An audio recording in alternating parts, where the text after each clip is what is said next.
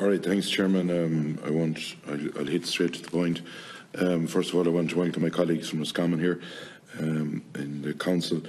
Um, right, um, Peter, you talked about incentives earlier on.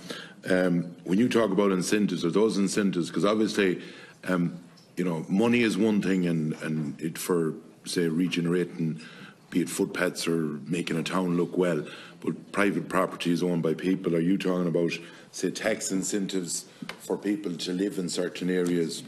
Say the, the model of Lemass, probably with Shannon Airport years ago, Farnock Airport that's in your own county. Are you talking about incentives like that that will bring people uh, to, to go back into the middle of towns? Second of all, and this is to any of you, and I know and you catered in a previous life in Galway, um, in planning and uh, on the planning end of it for people that there might be five pubs in a town, two of them might be closed, um, and you want to turn them into something without going to um, all the hoops that's in planning. I know that there was um, legislation that was done here, um, and has that passed on right yet, or is there still bits of problems in implementing that to make it easy on what we call change of use. Um, to living over the shop, but if you want to live under the shop where the shop was, to keep it all going. Um, uh, look, at Nullig talked about employment, and you're 100% right in that, in the line of be it Boyle or um, other places that you've talked about. Um, look, at bed space is a problem in a lot of areas um, that, that around the country. Um, and to bring for tourism, you probably need more bed space. And is there incentives that you're talking about that's needed in that way? And that will kick on and give employment. Like, Peter, you'd have talked about 400 and I think 70 or 80 uh, towns over, I don't know, the four or 500 people there. Um, there's a lot of small villages as well that are, you know, if you're near a bigger town that hasn't housing now, the smaller village that was near it, people are renting in it now, which I've seen. And, and when you put a few quid into, and this is the nub of the issue, I believe, like I've seen the the pride of place, like uh, Creggs was in it and Athleague was in it, and to see how a town can be sort of brought up. And I've seen, like the Creggs, that three new businesses has opened in it. Because at the end of the day, it's private people that will open businesses and give employment. Um, the one thing I'd say to the department, um, and I don't know whether you agree with this or not, and for all politicians and for, for public council staff, um, there's an awful lot of different streams of funding. Which it's nearly like going through a maze to know when is this coming and when is that coming. Is there any way we could do from January to December a calendar of the different schemes right through that we'd, we'd sort of know when everything is coming. Um, because there's voluntary people in a lot of those towns trying to do their best, helped on by their liaison with all the councils around the country. And these are people that are working every day in a lot of cases, and yes, they're liaison, but you need something, if we could start at the beginning of the year, and that be it the local representatives, or be it the council, or be it the department, all we'll hear is that something is announced. Do you know what I mean? And then you have a window of opportunity of a month or two or three or four weeks. And what I'm asking the department is there something we can do to help both the community and all the, the councils in the country that they'll say, well, this is coming in January, or we apply for this in January, this in February, because it's nearly like sort of a, an explosion that happens and away you go and you're and you could miss out on something else if two different schemes. And I, like we're hearing that a lot from uh, the ordinary from people. Um, look at there's a lot of great work done in a lot of areas. Um, in my opinion we have to give the incentives. I would be a believer that if you're living in rural Ireland you should be getting a bigger tax break because and the last question I have and this would be probably aimed at Peter um, when you're the with the county managers. Um, is there a danger that under the 2040 plan, when you look at the sort of the housing strategy and the emphasis on basically the larger urban area, or city, whichever you want to call it, um, that the smaller town would be, could be left behind when you do the number crunching of the amount of houses that's aspired to or allowed in areas. Thanks. Thanks, everybody. Um, we have a number of questions there, all sort of banked together, and they're addressed to, I suppose, across the board. Um, Senator Coffey and Deputy Smith came first there, and I suppose the town teams, town council, that particular question, I, I don't know, was it, was it Catherine made reference to that, or, or was it Peter? Um, um, the visual aids um, issue there in, in relation to Offaly. Um, there was also, um, Senator Coffey asked about uh, what will happen beyond this pilot. Um, what are the, the department's views in relation to that? Um, uh, one for maybe Peter in terms of the, the city and county managers and, and the councils indeed in relation to the responsibility not for buying property but it nearly has to be led by yourselves too and you have those powers. Um, you're looking at um, Senator Hopkins in relation to um, indeed the cost, the incentives there, what type of incentives she was asking would help. Um, Deputy Fitzmaurice has mentioned those as well. Um, uh, Senator uh, Hopkins also asked in relation to um, where, where to from here as well. Um, Deputy Fitzmaurice had very targeted questions there in relation to planning, some for Nullig, some from the department and some for Peter as well. So if we could try and not have any repetition and you take those questions up, maybe the department could, could start there with, with William. Thank you. Um, thanks very much, Chair. And, and, actually, I might start with um, uh, Deputy Smith's questions. She asked how the towns were selected for the pilot.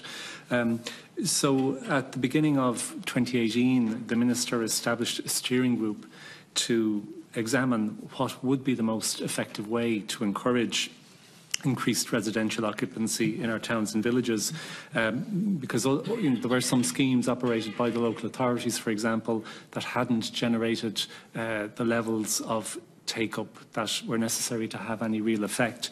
So the, the, steering group, and it included the Department of Housing and Planning, it included the Department of Public Expenditure and Reform, the Department of Finance and rep a representative from the CCMA.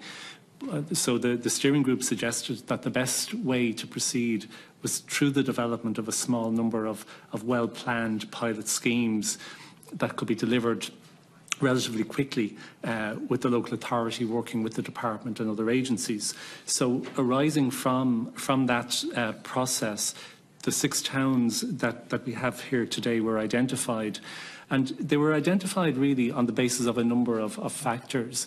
First of all, we wanted to have um, some spread in terms of the, the size of the town, in terms of its population, but also in terms of the location of the towns. So you have towns represented here from the west, from the southeast, from the border region, from the Midlands. So it's a mix of, of towns. Um, it's a mix of towns that we, we would have uh, worked with to some extent through our other schemes like the Town and Village Renewal Scheme. So to some extent it was building on uh, Town and Village. Boyle would be a good example where, where they have their 2040 plan in place. Um, and they also they were also towns that we knew had their own particular challenges. Uh, you know, that would enable us to test or to give them an opportunity uh, to identify um, the challenges and maybe solutions to overcoming those challenges. And again, a mix of towns in terms of historic uh, uh, towns, market towns, and towns that maybe would be attractive to, to tourists.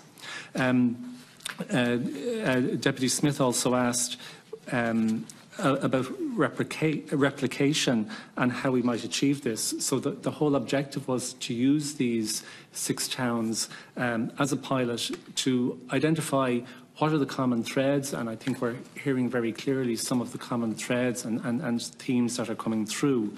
Uh, and, and, hopefully we will see solutions coming out of it as well. And we, we would hope to use uh, the, the learning from this pilot to, to help advise us when it comes to designing our, our, our schemes or our policies around town centre rejuvenation. Um, I might just say, and this, this touches a little bit on, on where do we go from here, which uh, Senator Hopkins raised, amongst others. Um, the intention is that uh, a, a final composite report will be put together, and we have commissioned somebody to help us in relation to this. So by the end of the year, um, a draft composite report will be put together uh, and presented to Minister Ring. Um, it'll summarise all of the key issues uh, that, that we have heard today and more. It'll also look at international experience to see if there are any learnings uh, from, from other countries that could be applicable here uh, in Ireland as well. Um, and, and, certainly, if, if, the committee had any particular inputs they, they, would like to make to the department as well, arising from the hearing this week and last week, we'd be very happy to receive those. Um, Senator Coffey asked uh, if it's intended to extend the scheme. Um, ultimately, I suppose that's uh, the prerogative of the minister. But I think we're, we're, we're hearing a lot of similar themes here that are probably applicable right across the board.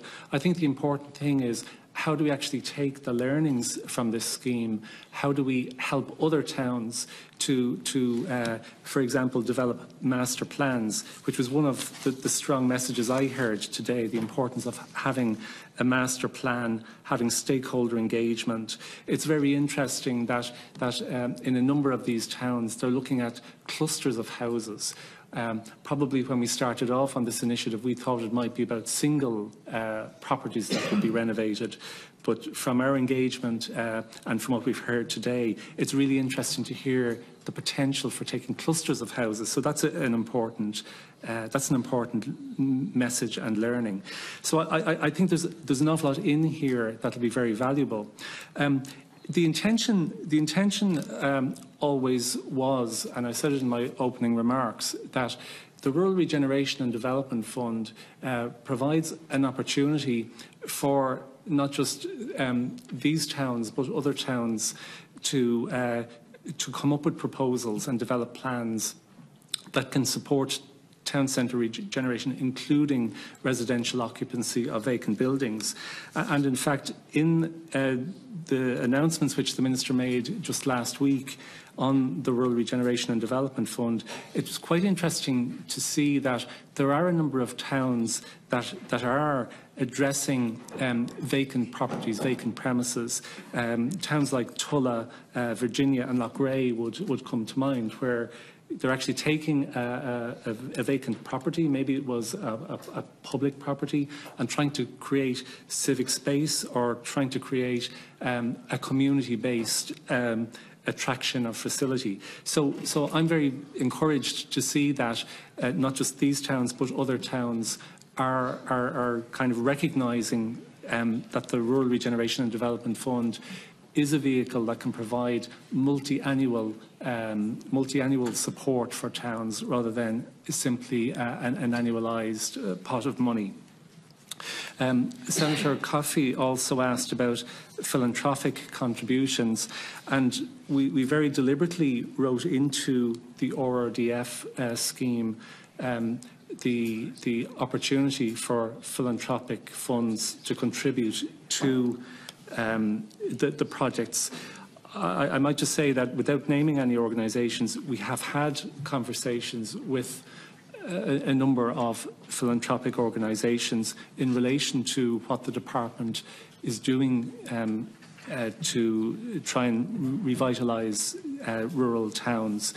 I know that some organisations have been involved in LEADER in the past in providing funding to the, the local development companies. Um, and we are, as a department, keen to try and explore the development of the philanthropic sector. Uh, we know there are organisations out there that are willing um, to contribute and have contributed. So it's something we're working on, uh, Senator, as well. Um, Senator Hopkins uh, asked about the local authorities and the extent to which they have been working together.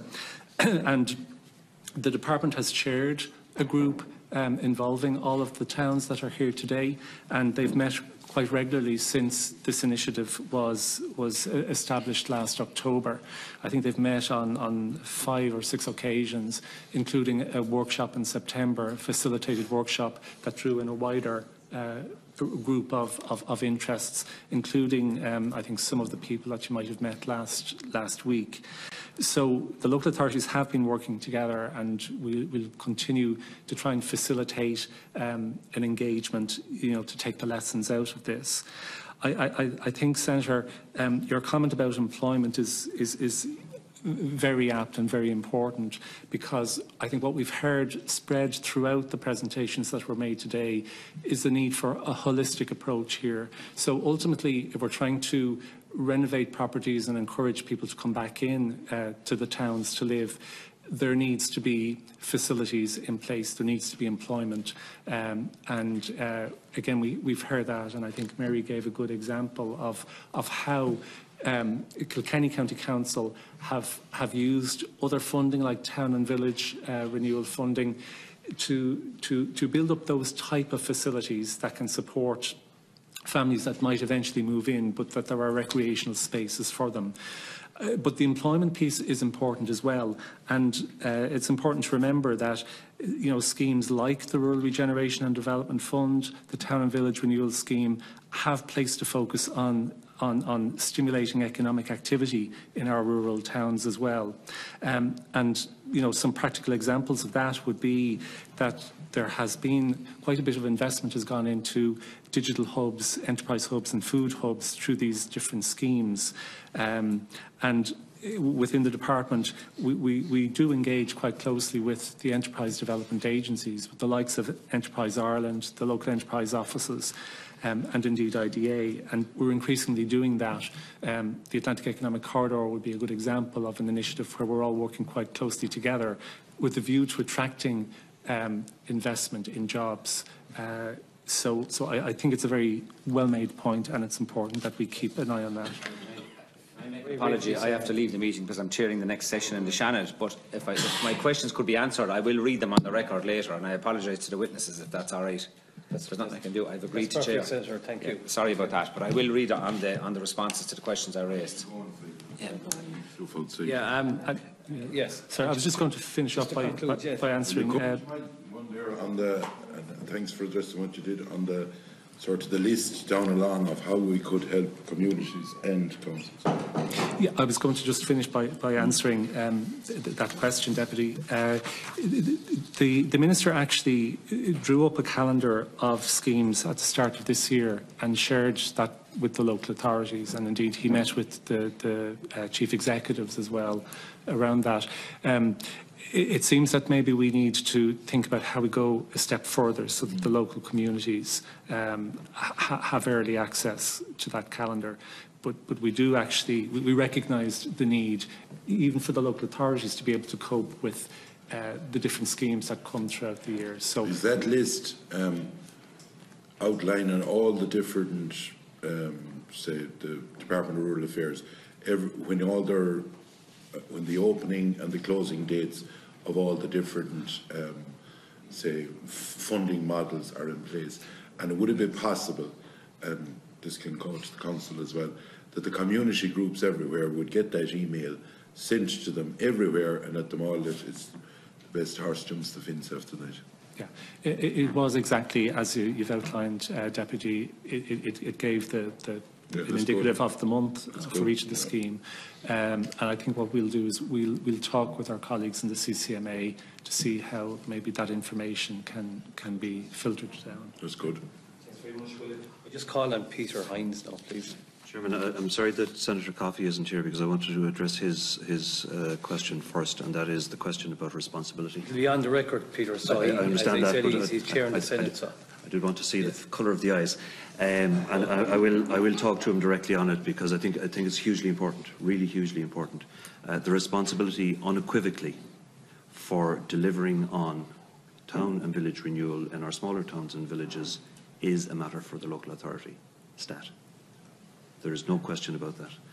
We need departments, we need agencies, we need funding, we need a whole lot of people to be involved in it. But at the heel of the hunt, it is a matter for the local authority to deliver on. Uh, and, and we accept that and we absolutely prioritise. Some uh, have it higher on the list of priorities. It depends. Every county is different. Every um, local authority is different. And the priorities vary uh, across the, the local authorities. That's why they are independent authorities, as you well know. But the responsibility for delivering on town and village renewal is ours. We accept that, absolutely. Second point I would like to make, and I'll, I'll, talk to uh, Senator Coffey directly on it, is there is a model in place. We are suggesting that there is enough learning done. This scheme is going to provide further learning um, and that we don't need to be looking outside the country or to other places as much as we think that we do. And we would suggest from the CCMA that the elements that are essential to the model are, as I've put them up on the slide, and thank you uh, for facilitating putting it back up, community engagement at the start. Has to involve everyone in the, in the, the town and village. There has to be a vision, a plan, whatever you call it. There has to be some notion of where we want to go. Otherwise, it's, it's just haphazard uh, opportunism. So there has to be a vision. There has to be investment, and that's the point I was making in the new uh, the, the Westport um, uh, description. Westport was transformed by the Seaside Resort Scheme. Seaside Resort Scheme gets a lot of bad press, and sometimes deservedly. But in the case of Westport, partly because the plan was there before the scheme came in, partly because we had uh, the, the, engagement with the stakeholders, partly because we had uh, a very good town council, and I'll come to the question of town council in a second, uh, overseeing it, it transformed the place. Um, so that's about implementation, and it is about local authority leadership, and I think that's a common theme that should come across very clearly from all of the uh, from all of the submissions. On the question of town councils, which I think was a question that was posed by uh, Senator Smith, um, it is obviously, or sorry, fairly clear that if you have a small number of councils where you have local representation and local uh, control and local um, resources, they are going to do better than if you have that spread. Having said that, we had three town councils. We have 30 towns that are of uh, magnitude. Um, Deputy Fitzmaurice talked about towns um, below 500. If you include everything from 250 up, you're talking about 800 settlements. And they're all important. Every one of them is important. Um, so the flip side of the uh, town council amalgamation into the uh, municipal district model is that more towns are getting a fair share of the cake. And places like Newport and Mulranny, in our case, and there are others around the country, are doing far better than they would have done uh, in, in the old system. And I think that's recognised as well. So there are, there, there are, uh, uh, balances in it. Uh, on the question of the uh, setting up a, a, um, a central agency uh, or a centre of excellence, uh, there, wa there was a, a centre of excellence under the uh, NBA back in the 80s. It dealt with urban design. It was actually set up under the guidance or, or the, the, the first CEO was a guy called Derek Tynan. Um, and that worked very well for some time. I'm not quite sure why it moved on, but there's certainly an, a, a, case to be made for having a centre of shared knowledge and a centre of shared expertise. I would strongly suggest, and we suggested that in the presentation, that that should reside in a public body or in a department. And um, there are uh, pluses and minuses in which department it should uh, or might sit in. Uh, the learning from this scheme might well influence uh, where it could or might sit.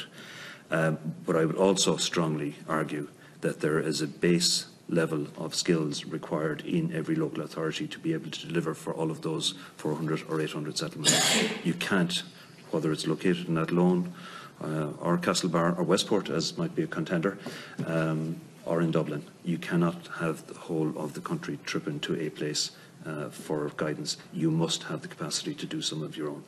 Uh, and that's about capacity building. Uh, I'm aware of time and I don't want to hog this, but I do want to just deal with some of the, the uh, questions that were put. Uh, on the question of incentives, uh, that is, in our view, and I think I speak for all local authorities, the question of incentives to guide investment back into the core of towns and villages is crucial. And I'm not the Department of Expenditure and Reform, uh, but I would guess that when you look at 800 settlements, 400 reasonably large, and the kind of investment that's needed, it is going to be very hard to find those resources uh, from the public purse. Uh, the only other option is some kind of, tax-driven um, private investment scheme. Uh, and I think that debate will be a big part of what comes out of the learning from, from the pilot scheme. Um, on the, the, the point that was made about uh, out-of-town shopping, uh, would we do it again? Perhaps we would do it differently. Um, and, but it wasn't all about planning. It is uh, the case that many small towns and villages just can't accommodate the size of unit that cons consumers are, are demanding. Um, and in some towns, we've been successful in keeping that focus in the centre of town. Uh, in others, less so. But uh, I think the move to online shopping is going to change all of that radically anyway. Uh, and it may be that in the not too distant future we'll be looking to repurpose uh, edge of town big box shopping outlets because uh, of where Amazon, Google and the drone world have taken us, but that's maybe a question for an another day. Um, on the question of um, the arts and creativity, I think that's extremely important point that we would all take on board. Not all cheap space is bad space. It is an advantage sometimes to have space that is slightly less used, slightly in, less in demand, because it can accommodate, um, you know, fringe activities and it can accommodate a, a, an arts uh, and creativity um, aspect to uh, towns and villages, which are really, really important. Um, on the question of dereliction, I think the point that was being made uh, when saying that it's not our responsibility to deal with dereliction is that it's not our responsibility to deal with all dereliction. Uh, and I think there is a balance.